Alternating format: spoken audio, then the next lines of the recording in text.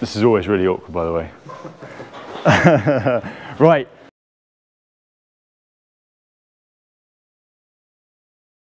We're here, we're diving straight into it in this one, and uh, we're just vasectomizing a couple of blackie tups so they can be used as teasers. Uh, I wanted to get a video here. we're with the Davies at Blagden Burn, and we've got this tremendous setup. We get very well looked after by our clients. That's Lee doing the heavy lifting there.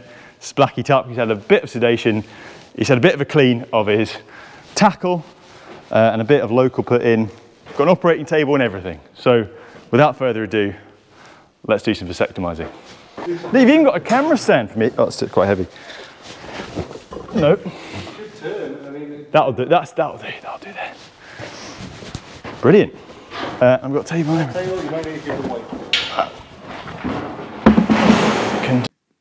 Now, before we go any further, this is some footage I hadn't even realised I'd captured. For those of you who work with blackies, that is Scottish blackface sheep, you'll know they're tough, they're mean, they're a great sheep, but they do have a degree of that Caledonian spirit in them. The farmer, Ed, here does a great job of showing you just how nimble you need to be to work with these sheep. Can do that.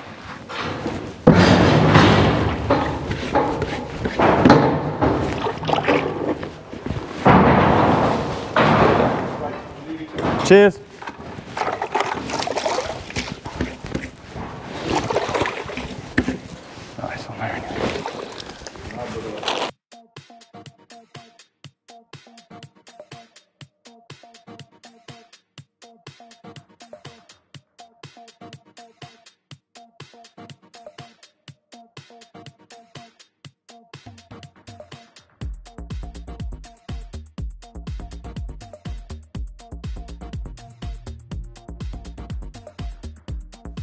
Let's talk about this setup then.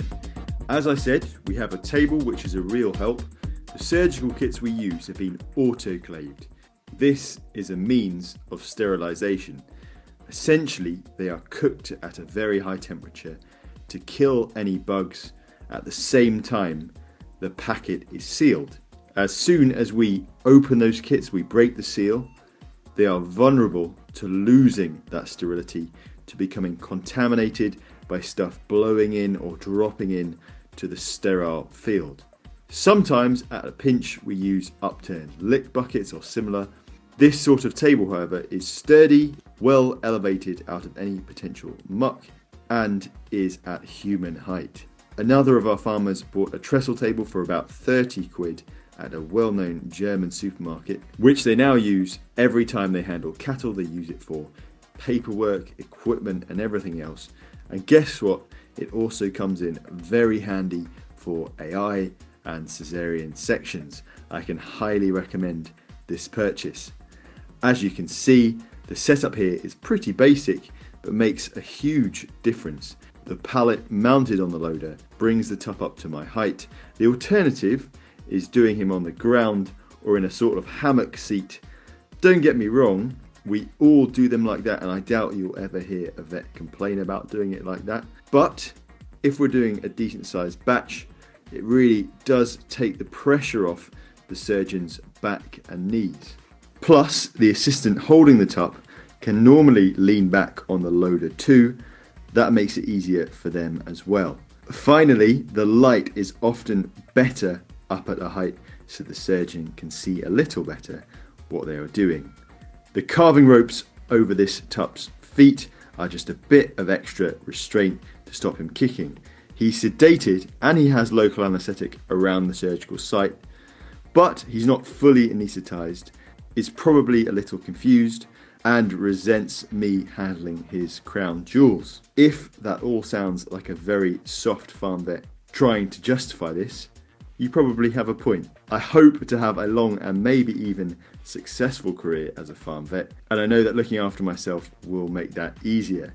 A wise vet once told me, and I think the same goes for farming, that being a vet is a thinking man's game. Other than that, in 2021, it's more likely to be a thinking woman's game. About 80% of my year at vet school were female. I think he's right. While there will always be a degree of physicality to this job, a lot of effort, energy, and time can be saved through forethought and design. To put it another popular way, work smarter, not harder.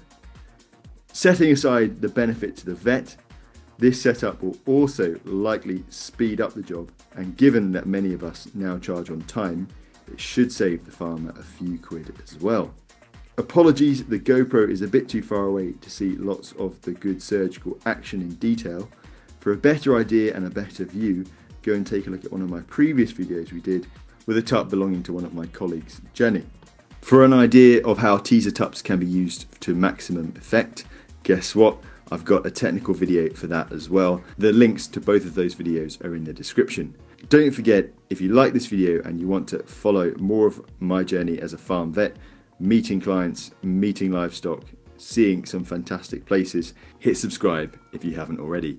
And if you're feeling really generous, go ahead, leave me a comment and give this video a big thumbs up. And like that, they're done. So they'll stay in here, well, they'll stay in a, inside in a sort of well-bedded dry pen, keep the wounds on their scrotum uh, nice and clean. The guys here will check them after a few days. Hopefully they'll be dry, healing well, and then they'll head outside, which will be the cleanest place for them.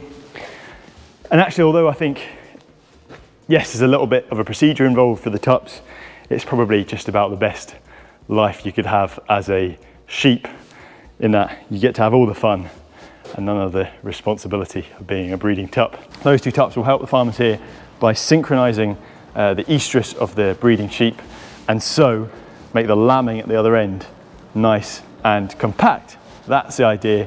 That's why these guys do it. Short and sweet one today, hopefully. Nothing perhaps you haven't seen before, but I really like that setup. If you're doing more than two, certainly it makes sense if you're the vet uh, to not be bent over all the time it's not very conducive uh, to having a good back. I'm 28 now, I'm hoping to work for another 40 plus years. The guys here are good enough to look after me, so I might not be in a wheelchair by then. Uh, last but not least, I've got my little souvenir from this trip. So those are the spermatic cords, just in case there was any failure and those tups were still found to be fertile. I can go back, send those away to a lab and they can double check for us that that is the right tissue. That's definitely the spermatic cord touch wood, it's not something I'll ever have to do. It's really one of those things you do as an insurance. So I've got my souvenirs. I've showed you the cool setup. With that, over and out.